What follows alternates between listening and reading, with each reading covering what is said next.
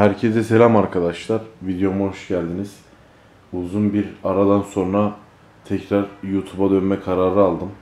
Sırf bununla ilgili neden bıraktım işte, neden şimdi tekrar başlıyorum. Videosu gelecek merak etmeyin. Şimdi konuyu dağıtmadan e, size tavşanımı göstermek istiyorum. Adı Ripple Hollanda Lob tavşanı ama Teddy Lob değil, düz Hollanda Lob tavşanı. E, bu sene Ocak doğumlu. Şu an e, videoyu ileride izleyecek arkadaşlar için de Kasım ayındayız. Yani 10-11 aylık civarı falan. Yani çok küçüktü cebimde geldi ama şu an bayağı büyük. Birazdan yakından da size göstereceğim alıp.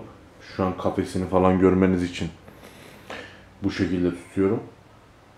Az buçuk hani e, fikir oluşsun diye çekiyorum bu videoyu. Yoksa ayrı ayrı işte nasıl beslenmeli, kafesi nasıl olmalı hepsini göstereceğim.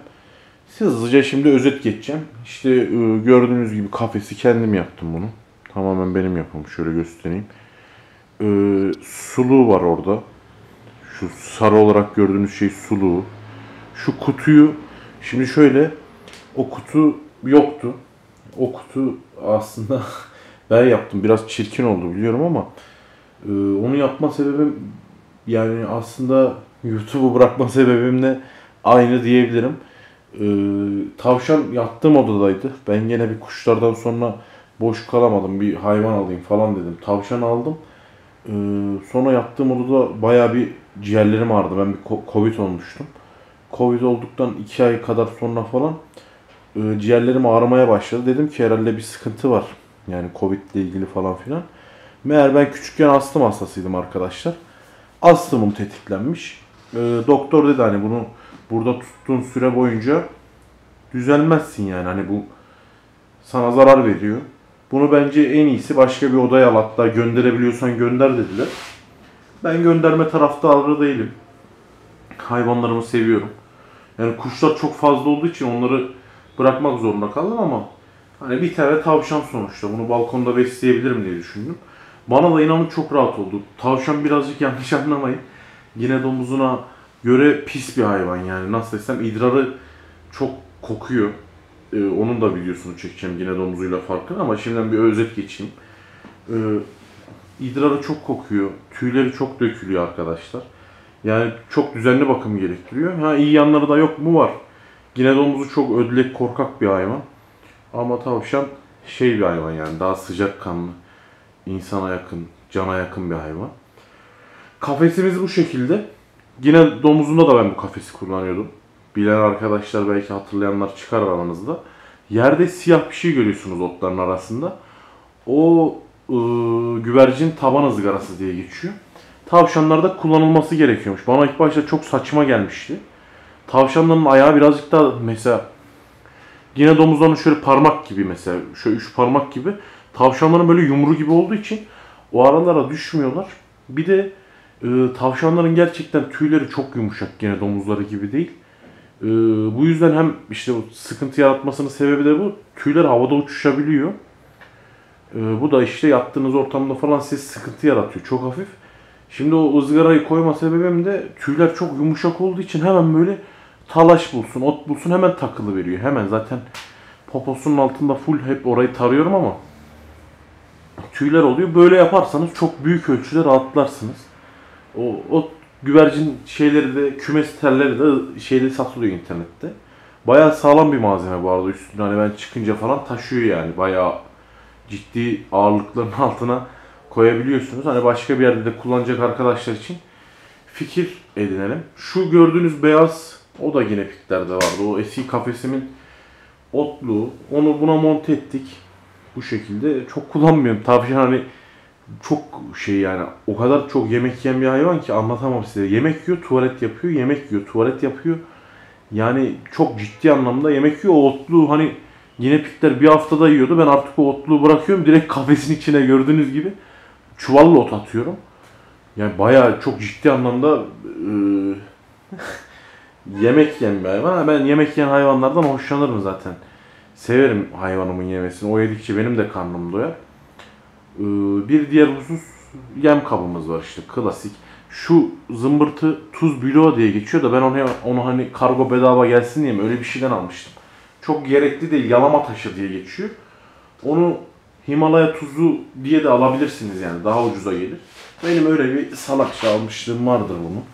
Ee, sebebini soruyorsanız sebebi o. Şurada asıl olan şurada o ben ahşap hobisine de başladım. Ee, ahşap oyarken artan güzel bir ağaç parçası vardı. Hani çöpe gidecekti. Hani bir, şey- bir işe yaramıyordu. Dedim belki kemirir falan astım oraya da. Yani çok kemirdiğini söyleyemem hani pek görmedim.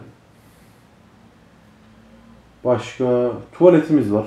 Tuvaleti Ginepik'ten almıştım. Hiç kullanamadılar. Ee, bu tavşanın e, Ginepik'e göre artı bir yönü de tuvalet alışkanlığı daha iyi ama böyle hani %90 oranında bir tuvalet alışkanlığı var yani. Her 10 tuvaletinin 9'unu o mavi kava yapıyor. Evet ama bir tanesini de mutlaka bir yere yapıyor yani. Hani kafesi temizlemeyeyim gibi bir fikre kapılmayın. Ama tuvalete alıştırırsanız kesinlikle şey yani hani tavşanın zaten kakası çok kokmuyor. Hani atasözü vardır tavşan boku derler. Tavşan kakası etrafa yapabiliyor yani. Hani şurada bırakayım iki dakikada hemen pıt pıt pıt durmadan yapıyor. Durmadan sürekli bir dışkılama halinde yani hayvan. Yani o tavşanın kakası çok sorun olmuyor yani. iğrenç bir kokusu yok, pis değil yani ama tuvaleti yani idrarı gerçekten çok kötü kokuyor arkadaşlar. Yani hani o tuvaleti temizleme me gibi bir şansınız yok. Hani gerçekten baktığım hayvanlar arasında ıı, tuvalete en pis kokan hayvan yani. Hani tembellik yapıp yarın temizlerim diyemezsiniz. Kapalı alanında falan bakıyorsanız. Mecbur temizleyeceksiniz arkadaşlar. Ha birazcık şey. Yani şimdi görüyorum piyasada tavşan kafesleri satılıyor. Kesinlikle çok yanlış arkadaşlar. Bu kafes bile çok küçük yani hayvan. Gördüğünüz gibi kutusunun üstüne çıkmış orada yatıyor. Ha, halinden mutlu mu mutlu ama ben arada dışarıda çıkartıyorum. Aşılarını yaptırıyorum yazları. Bizim bahçemiz var. Bahçeye falan çıkartıyorum. O şekilde orada işte sebzeler falan oluyor. Onları yiyor gidiyor falan. Takılıyor ama e, kesinlikle o ufacık hani benim tavşan kafesi yani size nasıl tarif etsem ki ya rahat bir, bir buçuk iki metre arası uzunluğu. Eni de 60 ile 100 santim arası bir şeydir. Tam hatırlamıyorum. Yani buna rağmen hayvan çok hani şey değil yani hani dışarıya gidince daha mutlu oluyor. Tavşan tasması diye bir şey satın aldım. O da saçma sapan pahalı bir şey. Kendiniz de yapabilirsiniz. Belki bir gün beraber deneriz. O tasmayla dışarıda gezdirebiliyorsunuz. Bir sakıncası olmuyor. Rahat bir şekilde geziyor yani. Başka neyden bahsedebilirim? Şu beyaz beyaz lekeler görüyorsunuz. Onları zaten tahmin eden arkadaşlar vardır. Eski kuş malzemelerinden kalan bit tozları arkadaşlar. Balkonda beslediğim için ve ben samanı çuvalla aldığım için samanın içinde bazen şeyler geliyor. Böyle değişik ufak böcekler geliyor. Yani hayvana bir zarar olmasın diye yani arada etrafını bit tozu yapıyorum. Zaten hayvanın aşıları da var. Şimdi bir yakın çekim yapalım. Tavşanımıza. Gel buraya. Yatıyorum da gel buraya gel. ya ben seni oradan nasıl alacağım ama? Onun oraya girmişsin. Dur dur dur dur. Gel buraya gel gel. Aman aman aman sakin. Sakin agam. Hemen tuvaletine gidiyor ya. En ufak korkusun. Dur dur dur oğlum. Dur oğlum. Dur oğlum. Hoppa. Arkadaşlar şöyle göstereyim. Masmavi gözleri, yumuşacık tüyleri var ama dur dur dur dur dur. Ama biraz etrafı batırıyor şimdi. Bir dakika şöyle geçeyim. Biraz etrafı batırıyor. Siz şu an zaten kameranın önünde tüyler uçuşuyor. Bu benim cebimde geldi arkadaşlar. Ben bunu şehrin uzak bir köşesinde bir üreticiden aldım. Bayağı uzaktı. Şöyle bir dakika güzel bir pozum. Dur oğlum dur dur dur. Ya şu an o kadar büyüdü ki eskiden cebimdeydi tek elimle kaldırıyordum. Orada uyutuyordum falan. Şimdi iki elimle zor tutuyorum hayvancağızı ya. Çok büyüdü. Veteriner gördü zaten bunu. Şey dedi yani hani gerçekten o zaman şeydi Haziran gibiydi. Ya bu gerçekten Ocak doğumlu mu falan dedi. Hani bir buçuk iki yaşında falan zannetti. Gerçekten kuvvetli yiyor bizim tavşanımız. Tavşanlar yıkanmaz falan gibi muhabbetler de var. Bu arada benim ayakları temiz. Size onların da videolarını çekeceğim zamanla. Beni takip ederseniz çok sevinirim arkadaşlar.